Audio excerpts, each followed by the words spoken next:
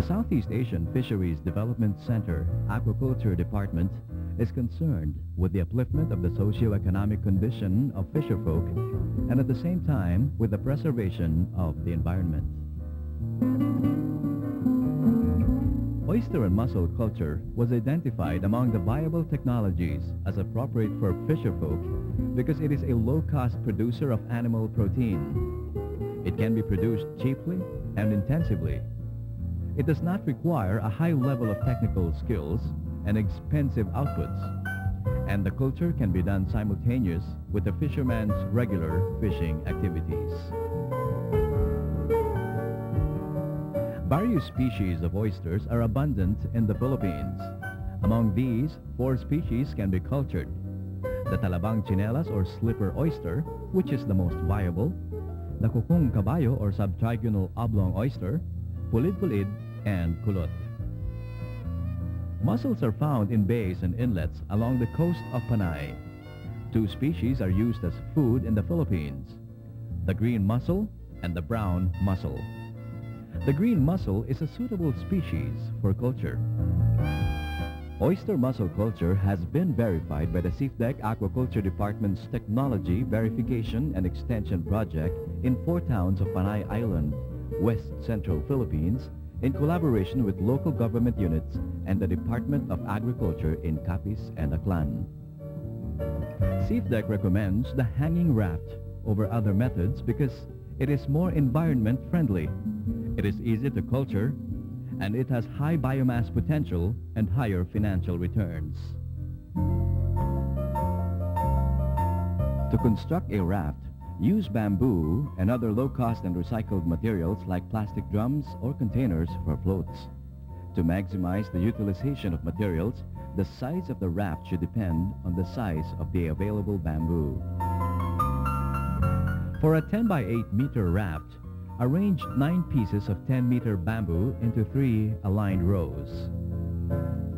Fasten three rows of 8-meter bamboo over each row of 10-meter bamboo using 6-inch nails to keep them in position, making four 5 by 4 meter frames. Tie each corner and between corners using polyethylene rope to strengthen the structure.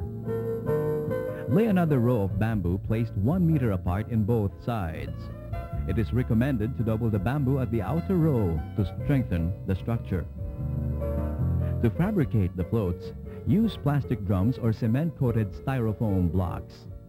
Plastic drums and cement-coated styrofoam blocks are needed for a 10 by 8 meter raft. Seal the plastic drums or containers properly by placing recycled plastic wrappers before closing the cap or by using epoxy. One float is composed of four plastic drums tied tightly together using polyethylene rope. To make a float of cement-coated styrofoam, wrap a rectangular-shaped styrofoam with chicken wire or nets. Coat it with cement. Use empty and good quality oyster shells to make culch collectors. Oyster larvae are attracted to the inside polished part of the shells. For mussel, use coconut fiber or cabo negro or black natural fiber. For oyster culch collectors, make holes using nails enough for the polypropylene ropes or packing strips to get through. Tie shells to the rope at 5 to 6 centimeter intervals. About 10 to 15 shells will make a one and a half meter collector.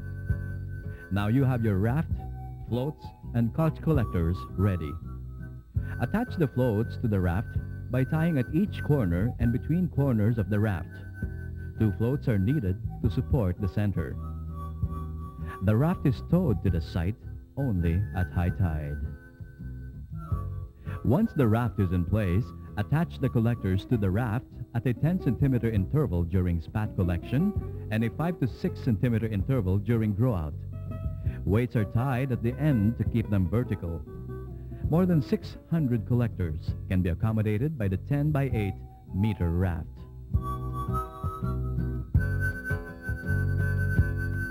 Site selection is important because it can spell the success or failure of the venture.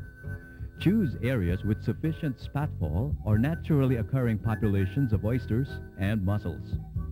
protection from strong winds and waves, enough food for the stocks, a tidal range enough to change water completely and frequently, strong tidal currents of about 2 centimeters per second, no water pollution and domestic sewage, a water depth of at least 2 meters during low tide for mussel culture and market accessibility. The farming of oysters and mussels has two phases, spat collection and grow out. For spat collection, hang spat collectors to the raft 10 centimeters apart during spatfall season. Once the collector ropes become heavy with spat settlement, hang the collector ropes in their final positions on the bamboo frames. For mussels, let the spats grow to a length of approximately one half inch before transferring them to grow-out ropes. Hang grow-out ropes at intervals of 40 to 50 centimeters. Inspect the raft and monitor the stocks regularly. Remove predators and fallers like crabs, starfish, barnacles, sponges, and others. Regular cleaning would ensure clean barnacle-free stocks. Check the collector ropes. Make sure they do not touch the sea bottom. Measure the weights and lengths of oysters and mussels every week. Harvest is done after 4 to 6 months or as soon as the stocks reach desired sizes. To harvest, untie the collectors from the raft and hold to a banca. Separate oysters individually with hard objects. Mussels can be separated individually using a sharp knife. Take care not to cut the byssal thread of the mussel to keep it alive. Initially wash oysters and mussels by stamping or spading to break off hard, clinging barnacles. Place in rattan baskets, then shake vigorously in seawater to remove the mud. Harvested stocks are then brought to dry land for sorting, packing, and marketing.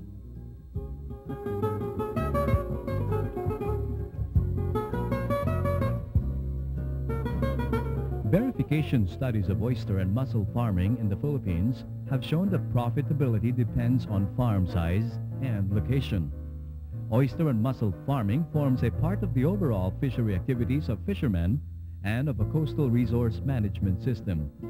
Besides helping to raise the fisher folks' income, it also reduces over-exploitation of our coastal resources.